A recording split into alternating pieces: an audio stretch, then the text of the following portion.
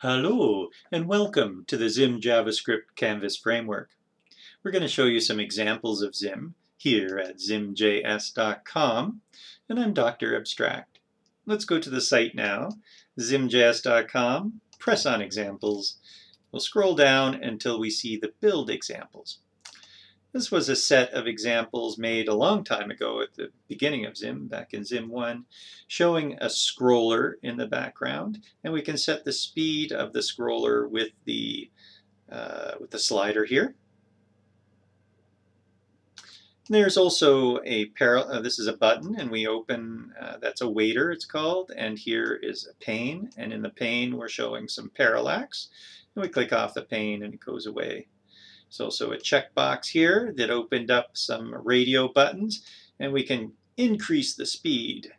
And there's a middle speed and here's an off speed. And if we're in the negative, there's the middle in the negative, etc.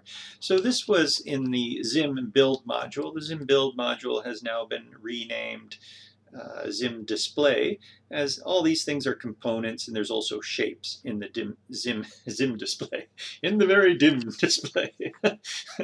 so come on out to Zim at zimjs.com and check out the various components that you can build with. It's a lot of fun and very practical as well. You can build useful things with Zim on the canvas. Ciao!